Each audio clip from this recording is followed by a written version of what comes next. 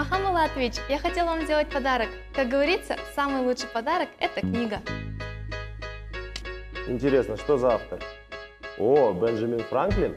Я хочу подарить этот оригами. Я его сделала сама. Он символизирует спокойную, успешную сессию. Я знаю, вы увлекаетесь искусством, поэтому эта картина предназначена вам.